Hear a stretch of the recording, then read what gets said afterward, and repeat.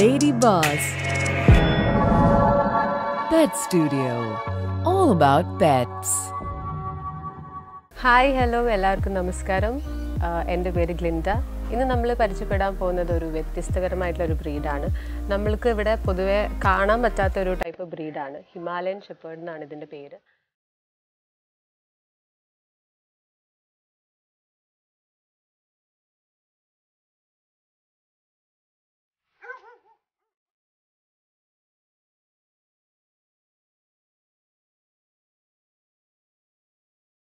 Himalayan ഷെപ്പേർഡിനെ നമ്മൾ mainly കണ്ടുവരുന്നത് കാശ്മീർ നേപ്പാൾ അങ്ങനെയുള്ള മലനിരകളിലാണ്. ലൈക്ക് ഷീപ്സിനെയും യാക്സിനെയും ഒക്കെ ഗൈഡ് ചെയ്യാൻ വേണ്ടിയിട്ടുള്ള ഒരു ഗാർഡ് ഡോഗാണിത് അപ്പോൾ ഇവിടെ നമുക്ക് പൊതുവേ കാണാൻ പറ്റാത്ത ഒരു ഡോഗാണ് ഇതിന്റെ ഹെയർ ആണ് ഇതിന്റെ മെയിൻ ക്വാളിറ്റി കുറച്ചും കൂടി ഹെയർ ഉണ്ടാവും ഇതിന്. ഇപ്പോൾ ഇത് കുഞ്ഞാണ് ജസ്റ്റ് നയൻ മന്ത്സേ ആയിട്ടുള്ളൂ.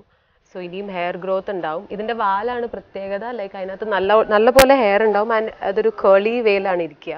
ദെൻ ഇതിന്റെ ഹെഡിൽ നല്ലപോലെ ഹെയർ ഗ്രോത്ത് ആവും. സോ ഇനി ഇത് വലുതാവാനുണ്ട്. ഇറ്റ് ലുക്സ് ലൈക്ക് ഒരു ടിബറ്റിൻ മാസ്റ്റിഫിനെ പോലെ അതിന്റെ ഒരു കമ്പാരിസൺ അതുപോലെ അല്ലെങ്കിൽ പോലും അതിനെ പോലത്തെ ഒരു ഡോഗാണിത്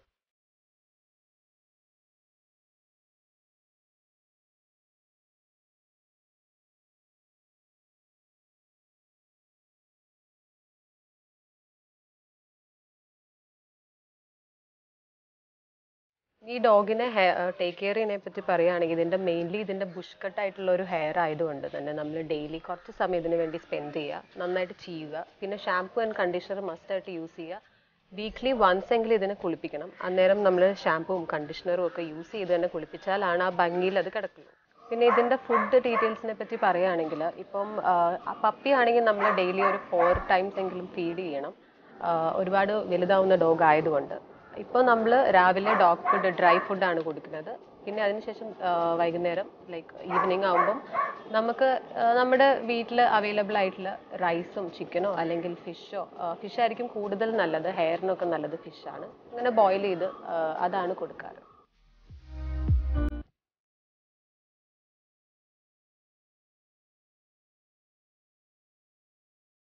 പിന്നെ ഇത് വളരുന്ന ഒരു ബ്രീഡ് ആയതുകൊണ്ട് നമ്മൾ സപ്ലിമെന്റ്സ് സപ്ലിമെന്റ്സ് കറക്റ്റായിട്ട് കൊടുക്കണം. കുഞ്ഞിലെ തൊട്ട് നമ്മൾ കറക്റ്റായിട്ട് കാൽഷ്യം വിറ്റമിൻസ് പിന്നെ ഹെയറിനുള്ള സപ്ലിമെന്റ്സ് ഒക്കെ കൊടുക്കണം.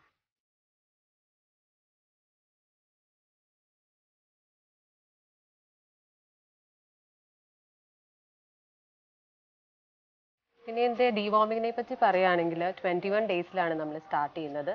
പിന്നെ ഫിഫ്റ്റീൻ ടു ട്വന്റി ഡേയ്സിൽ വീണ്ടും അത് ചെയ്യുക. പിന്നെ മന്ത്ലി അത് കണ്ടിന്യൂ ചെയ്യുക. ഡീവോമിങ്ങിന്റെ അളവ് എങ്ങനെയാണെന്ന് വെച്ചാൽ ബോഡി ഡോഗിന്റെ ബോഡി വെയ്റ്റും മെഡിസിനും അനുസരിച്ച് ആണ് നമ്മൾ അളവ് കൊടുക്കുന്നത്.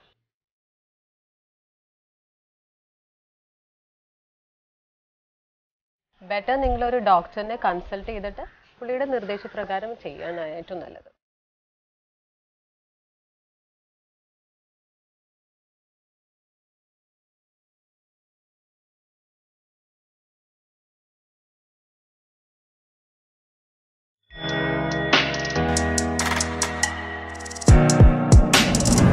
Lady Boss.